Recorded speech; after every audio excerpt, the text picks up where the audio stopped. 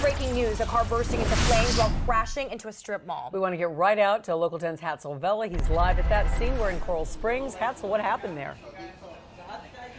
Christy, Janice, let me show you what happened. That car has been uh, towed away, but you can see the soot from the fire. And business owners here, the folks who work here, say had it not been for this planter here, they believe that car would have gone straight right into the business. Let's go ahead and show you some surveillance video captured by a nearby business. You can see the car with smoke seeping out from underneath as well as flames. The driver tells me 21 year old Alexandra says she lost control of the car. Her brakes were not working, and this is the only way she could come into a stop. Let's also show you cell phone video. This cell phone video captured by witnesses, and they tell us the car was up in flames, and everybody from these stores that you see at this mall were uh, had to be evacuated.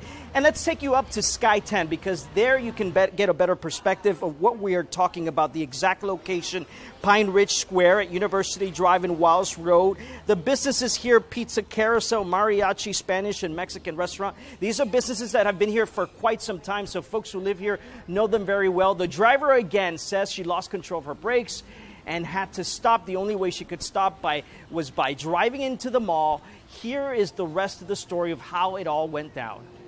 I was at the lights and I was trying to turn left, but uh, the brakes wouldn't stop, so I kept going straight forward through the green light.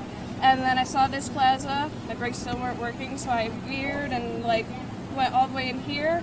And then I just the car kept on going, and I jumped out. She called me hysterical, you know, and uh, just to receive a call from your daughter, just crying and confused, and uh, yeah, so thank God she's okay.